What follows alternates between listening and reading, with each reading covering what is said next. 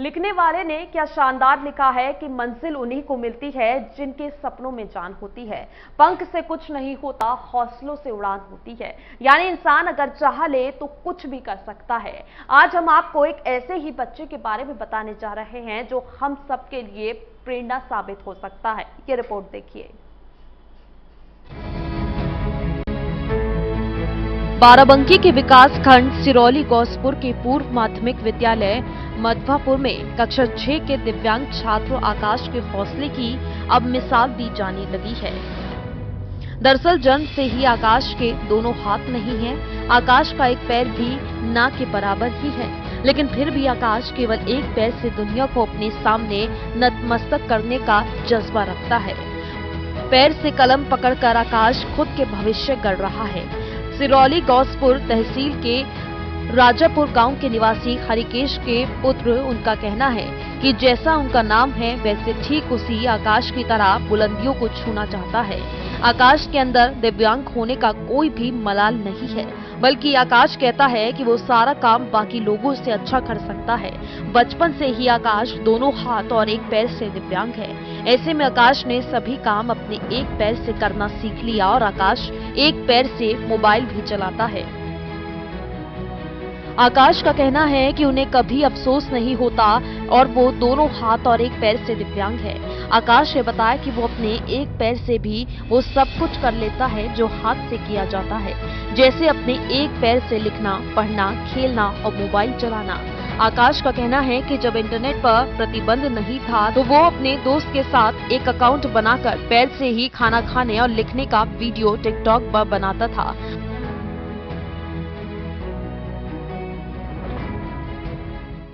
खिलाते पिलाते हैं और पढ़ने लिखने में ठीक है।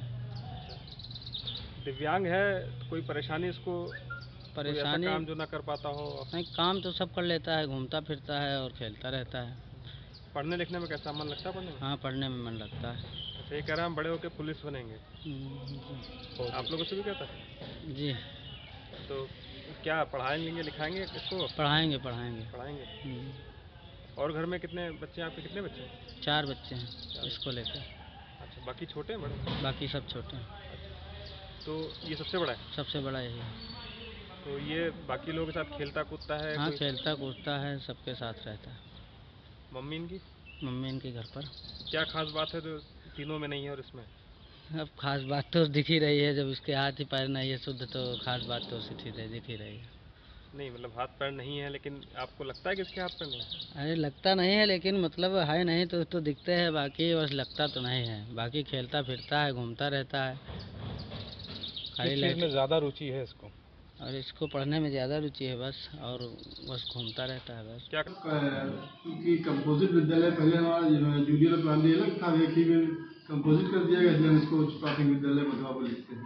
अच्छा तो आप यहाँ सहायक अध्यापक हैं। ये जो आपका एक स्टूडेंट है आकाश जी। है ना ये दिव्यांग है पढ़ने लिखने में कैसा है और बाकी बच्चों से अलग है या क्या कहना ये चाहेंगे? सामान्य बच्चों की तरह ही एक एक पढ़ता है। बाकी ये है कि कठिनाई महसूस नहीं करता है जो भी है म- बढ़ चढ़ के सबके साथ रहता है और पढ़ता भी बहुत अच्छा है। मतलब एक स्कूल में ऐसा माहौल तो नहीं बनता उसके लिए कि मतलब वो कुछ काम नहीं कर सकता। नहीं सर ऐसा कोई माहौल नहीं अन्य बच्चों से अच्छा करने की सोचता है। तो आप लोग कैसे मोटिवेट करते हैं उसको? जब कभी कभी कार ऐसा हो कि ना कर पा रहा हो कोई काम और आप लोग उसको मोटिवेट करते हैं? कोई ज़रूरत ही नहीं पड़ती है। बाकी अ, जो भी है जब ज़रूरत पड़ती है तो पूछता है कि हाँ, ये कैसे कि ये कैसे होगा। हम जो भी होता है सो बताते हैं। पढ़ने में अच्छा है सर इसमें एक्टिविटी कुछ एक्स्ट्रा रहती है अन्य बच्चों से और कुछ अलग इसको करने की तमन्ना है इस जीवन में। तो उसको हम लोग यही कोशिश करते हैं कि उसके अंदर जो भी क्षमता है उनका हम पूरी तरह से विकास करें। अच्छा। सुबह जब आता है पढ़ने और जितनी देर स्कूल चलता है क्या खास देखते हैं इसमें एक्टिविटी क्या करता है पढ़ने से ये हर समय एक्टिव बना रहता है ये इसकी खास बात है और कुछ जानने की इसकी अलग ही जिज्ञासा बनी रहती है। हम्म। अच्छा पढ़ने लिखने में कैसा है सर? पढ़ने में ठीक है थोड़ा ग्रामीण क्षेत्र से इसलिए अंग्रेज़ी में थोड़ा दबता है और बाकी अन्य भाषाओं में ठीक है। अच्छा। मतलब और बच्चों की तरह पढ़ने में, लिखने में, और मतलब कुछ अलग देखते हैं या किसी तरह से मतलब ऐसा तो नहीं लगता है उसको कि हम नहीं नहीं, किसी तरह की इंफियाटी नहीं महसूस करता है और उसे अच्छा ही रहता है हर बच्चों से और उसे जानने की, समझने की क्षमता भी ठीक है। मतलब मानसिक लेवल में उसकी कोई कमी नहीं है। वो शारीरिक रूप से थोड़ा सा अक्षम है, वो तो अलग की बात है। लेकिन पूरी तरह से अपने को अक्षम महसूस नहीं करता है, ना हम लोग उसको किसी तरह की अक्षमता महसूस करने के लिए कुछ कहते भी हैं बल्कि उसको यही प्रेरणा दी जाती है कि वो किसी से कम नहीं। अच्छा जैसे वो बड़ा होके कह रहा है कि मैं फौजी बनूँगा पुलिस में फौजी बनेगा इसके बाद और एक इंटरव्यू हुआ तो उसमें कहा था मैं दरोगा बनूँगा। अच्छा। कहता फिर दरोगा बनकर क्या करोगे? तो कहता मैं चोरों को पकड़ूँगा। ये उसकी जो है सिक्योरिटी की प्रति ज़्यादा उसकी लालसा दिखने को मिलती है। सबसे खास बात बच्चे में क्या देखते हैं? सबसे खास बात है वो कुछ सीखने के प्रति ज़्यादा ही जागरूक रहता है। हम्म, जी और एक्टिव भी बना रहता है। किसी तरह से उनने किसी तरह की इंफियाटी नहीं महसूस करता। क्या करते हैं? अम्मा पापा क्या करते मम्मी काम कर घर के पापा पापा घर पर रहा नहीं। वो क्या करते पापा जाते हैं मतलब जैसे छत पर काम करते हैं अच्छा कटरिंग वाला है हाँ। और खेती बाड़ी है घर में? हाँ। कौन करता है पापा पापा? पापा खेती काम बताओ तो हाथ पापा का? हाँ भाई भाई करता पसीना बहुत आ रहा तुम्हें हाँ लगे हम छोटे में तो मुझे ज़्यादा पसीना ज़्यादा तो पंखा लगा नहीं है। आकाश ने बताया कि उसके वीडियो को टिकटॉक पर करीब 23 लाख यूज़र्स ने भी देखा था। वहीं आकाश के पिता हरिकेश का कहना है कि दिव्यांगता के बावजूद भी आकाश को पढ़ा लिखा रहे हैं और प्राथमिक विद्यालय राजपुरा में कक्षा पाँच तक की पढ़ाई के बाद अब आकाश का दाखिला पूर्व माध्यमिक विद्यालय मधपुरा में कराया है। उनका कहना है कि आकाश नित्य क्रिया के साथ ही दूसरे कामों के साथ लिखने पढ़ने का काम भी एक ही पैर से करता है।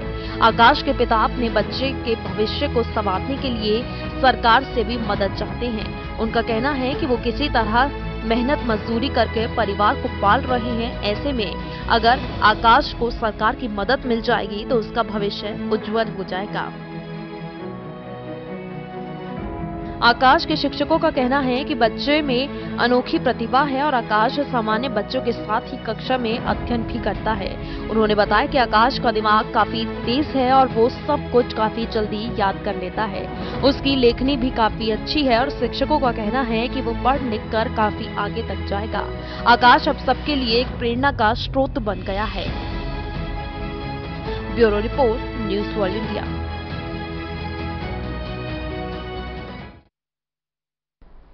तो देखा आपने, ये आकाश किस तरह से हम सभी को एक प्रेरणा दे रहा है और खासकर उन लोगों को जो अक्सर छोटी सी चीज़ ना हो जाने पर ज़िंदगी में मायूस हो जाते हैं। तो कभी भी हमें हार नहीं माननी और इसी तरह से ज़िंदगी में आगे बढ़ते चले जाना है। तो इसी पॉजिटिविटी के साथ गुड मॉर्निंग इंडिया में बस इतना ही। आप देखते रहिए न्यूज़ ऑल इंडिया।